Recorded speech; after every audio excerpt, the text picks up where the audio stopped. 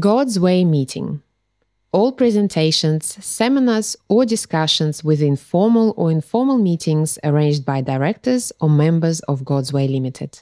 The title of this meeting is Members' Questions about God's Way, during which the directors of God's Way Limited ask Jesus to be a guest speaker at the 2018 annual general meeting. But before he delivers his primary presentation, he answers questions about the future of the God's Way Limited organization for the members on behalf of the directors. The meeting was recorded on the 14th of February 2018 at 11 a.m. in Mount Coolum, Queensland, Australia. So it's all pretty interesting, hey? Or all pretty boring, depending on which way you look at this whole election thing. Um, but uh, I think what our what the company is going to be doing over the next year is going to be pretty interesting, and uh, and it's pretty exciting to be involved in it. I think in its inception, um, given given the fact there's a whole heap of new things that will be happening this year, and uh, also obviously a whole heap of systems that we're trying to get in place this year as well. So that's going to be really good. But um, and probably what I'd like to do first is uh, answer any of your questions you might have about any of those things and get those questions out of the way. Because after that, I would like to talk to you about a subject that I feel is probably the most important subject to talk to you about with regard to your participation in God's way. So I'm basically giving you the opportunity right now to ask as many questions you want about the different programs we've got, the different branches we've got at the moment the external branches that are getting operational are the construction branch, you've got the human life branch and the environment branch. Um, they are the main branches at the moment that are, that are underway. And in the internal branches that are underway are to do with information sharing, the finance and accounting side, of things as well. But, um, oh, and the, and, and of course the uh, volunteer support uh, branch as well, which which is to do with sort of basically, hopefully, train, training new volunteers. Now, so, some of you have been involved with that program. Obviously, Tristan and Eloisa have because they developed it, and obviously our three new attendees that have been invited have uh, gone through that program as well. Some of the rest of you haven't gone through that program, and one thing we'd recommend to you all that you all go through the program at some point, just as a bit of an exercise to to see, you know, it's interesting to see the responses that people have to specific tasks they've been given to see how suitable they're going to be in the long run to to serving people, you know, to giving the gift of their love to people. Mm. So, if you'd like to ask any questions about any of those branches, I'm happy to uh, answer those questions now. But then I'd like to talk to you about another subject after that. So, any questions you have about them? No? Kev, you'd like to ask?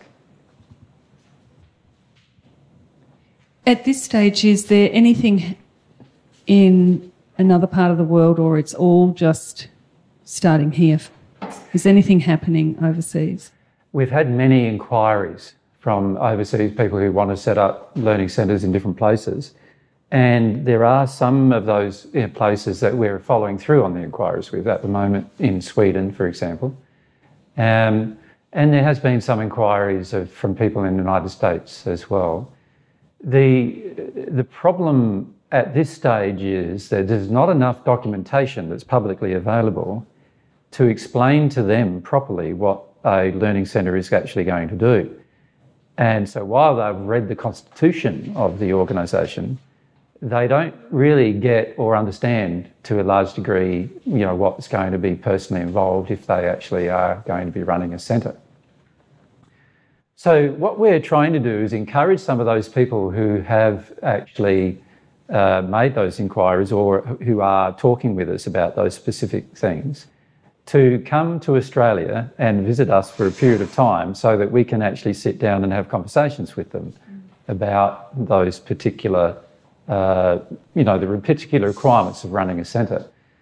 And we're also, uh, you can see also why our managing director, Mary, has focused her attention on uh, trying to get as much of this documentation, this formal documentation, uh, present, presented publicly. Because without it being presented publicly, people who are interested don't know what they're really, in, to a degree, interested in. You know, they're interested in the idea and the concept, but they don't really know what to do about that idea or concept and what is going to evolve from them. So um, there are many, um, many requirements that need to be met first before some of these places, which have already, you know, some people uh, uh, want their places to become sort of a learning centre overseas, but before they can, they really need to know what's going to be completely involved in that process. And obviously, uh, there's a lot of infrastructure with overseas that would need to be set up. Here in Australia, we've had to incorporate a company.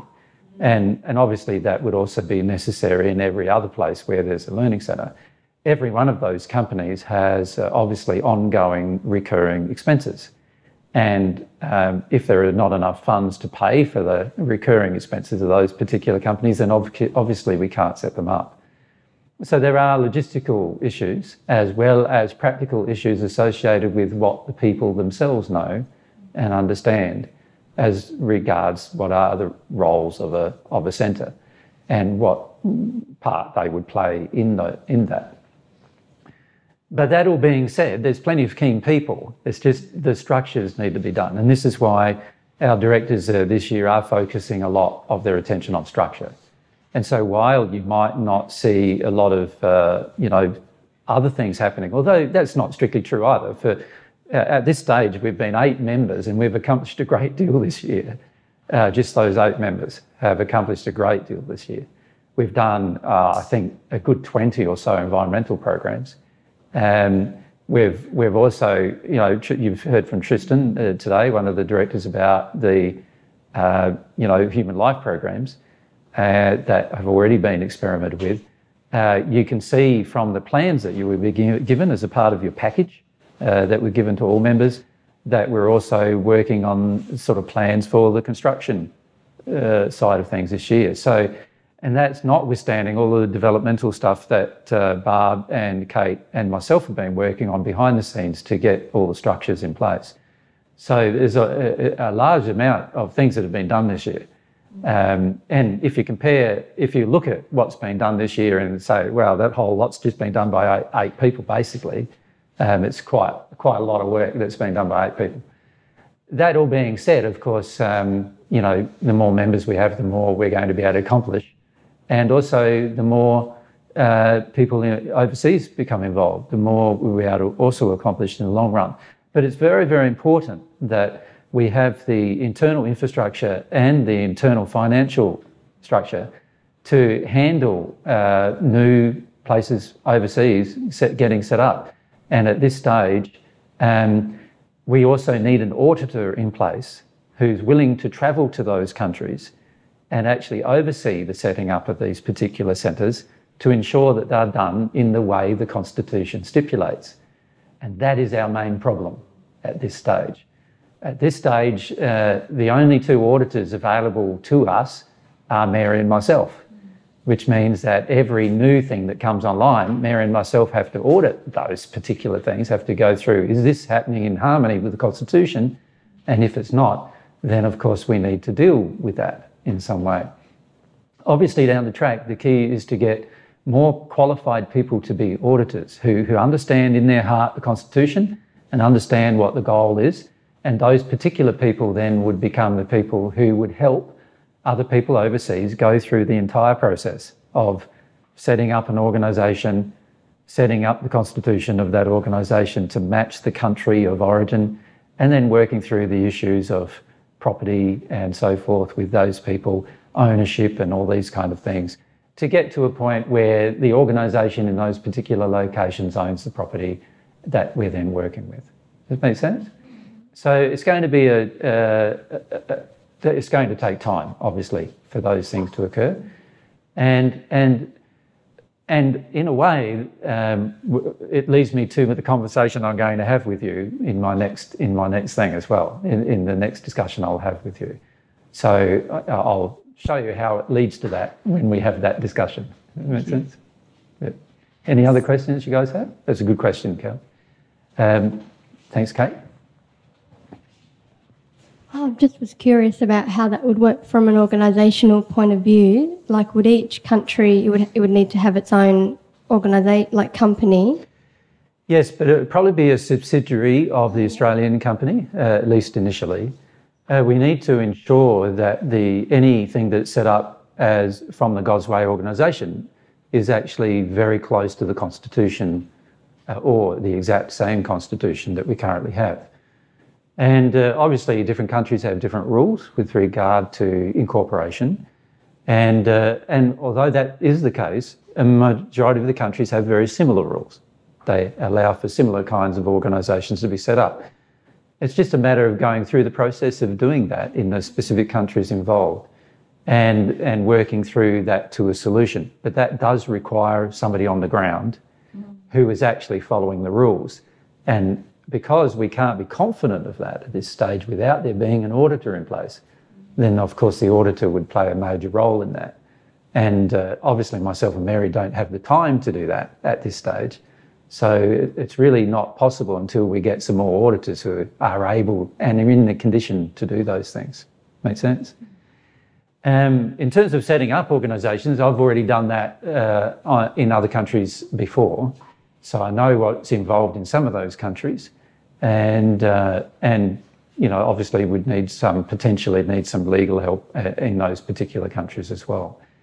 Now all of that costs money, and obviously we've got to now at this stage ask ourselves, well, first thing we need to do is use our funds to make sure the Australian side of everything is working properly and functioning properly and is doing what we want it to do.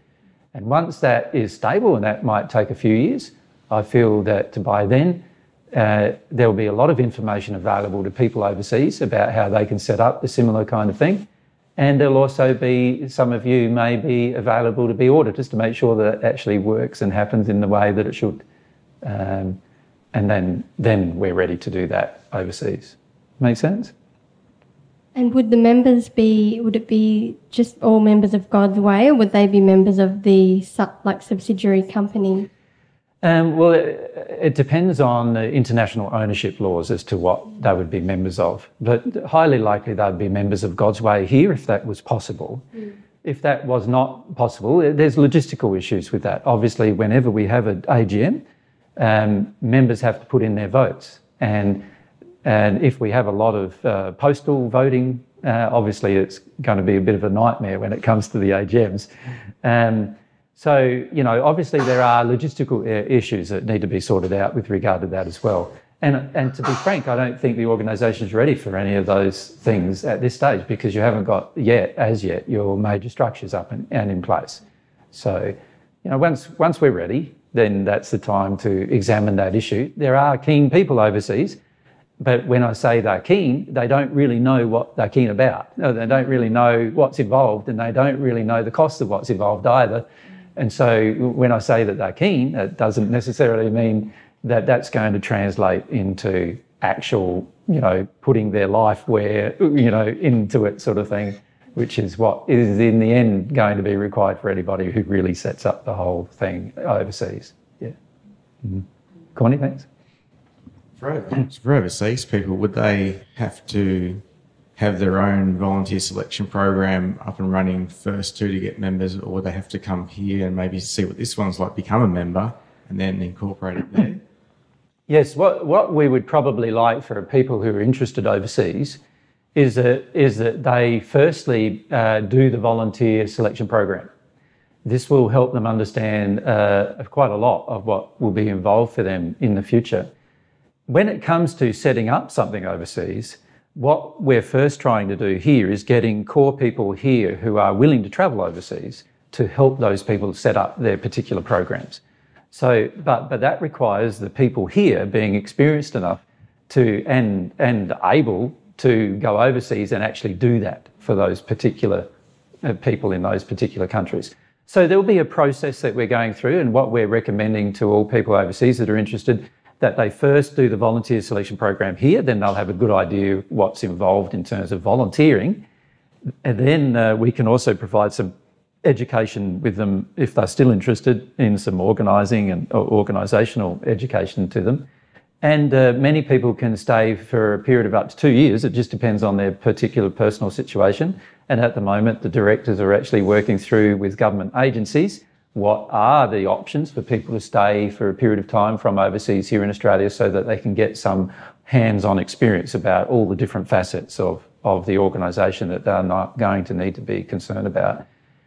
And once they've got that few years of education, now they might be ready for setting up their, you know, something in their own country. And, uh, and then, under those circumstances, we, uh, as our, our members here, will provide support. And so initially, they might not have the people to do a volunteer selection program, so we would send over to them a couple of people to do the program for them and so forth and show them and educate them about how to do that program.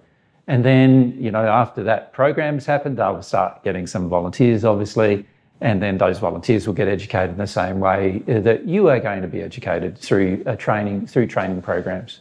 Yeah. So it's going to be a progressive process. Uh, it's not going to be something where people can just go, "Oh, I'm interested," and we go, "Yeah, no worries," and you know, and that's all done and dusted. It's not like that at all. It has to be set up properly, and in particular, it has to be audited in the right way so that we're sure that the people who are doing, who are responsible, are people who are sincerely interested in doing things God's way rather than just sincerely interested in doing things their own way. And, uh, and, that, and that can be easily determined if we follow this chain of events that I've just described. You can easily see where, where, where a person's heart is in that process. So that's why they're going to be going through that kind of process.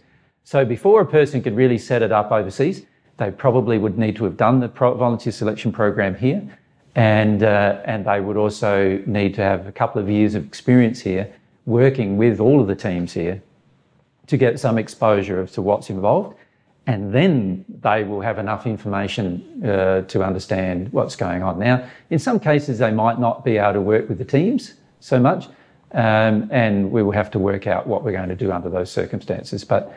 Um, there are some people already, like Courtney, who, have, who are slated for the next uh, volunteer selection program, who is doing that for that reason. She's doing the Pollen program, she's staying for a couple of years, she wants to do the uh, training programs that we develop over that time. And, uh, and after that period of time, she'll have a good idea about what's going to be involved setting it, setting it up somewhere else. Yeah. Thanks. Yeah. Any more questions about those things?